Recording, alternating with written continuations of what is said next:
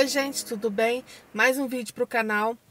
E hoje eu vim aqui, gente, num centro de reabilitação para marcar a minha fisioterapia, né? Porque o médico me prescreveu fisioterapia. Aí já aproveitei aqui que é um centro de especialidades, sabe? Médicas.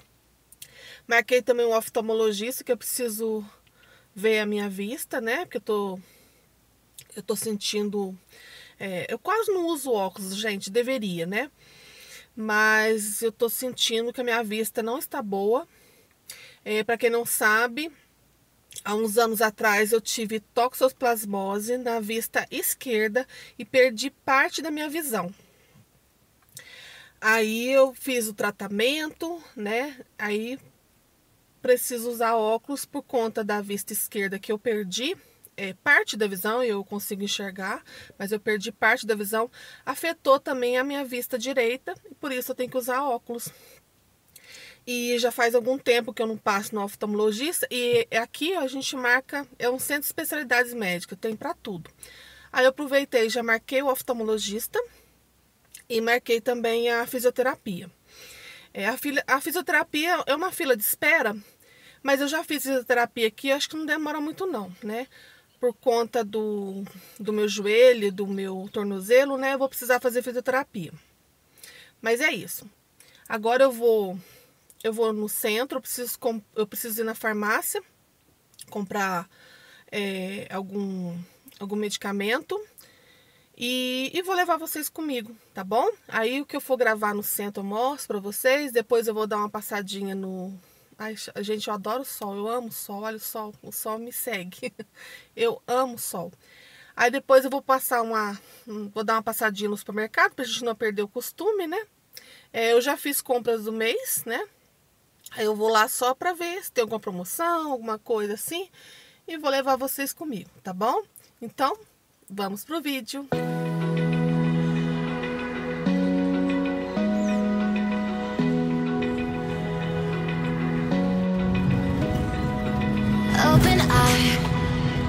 Feel the waves cut through me Hypnotized by the sounds I'm breathing in. Hold tight, hold tight Chemicals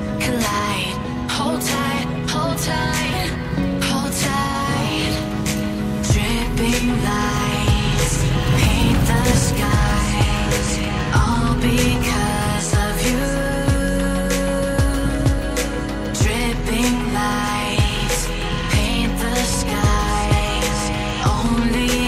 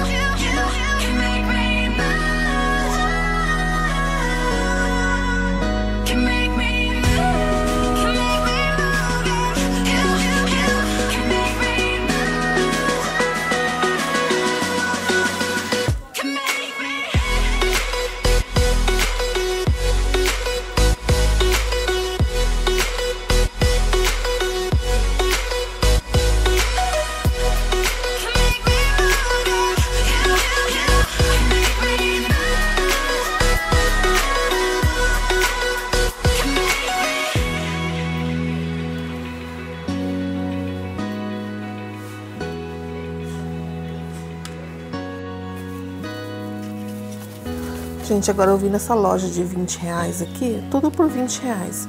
Eu achei muito bom esse aqui, ó, esse kitzinho aqui para bebê recém-nascido.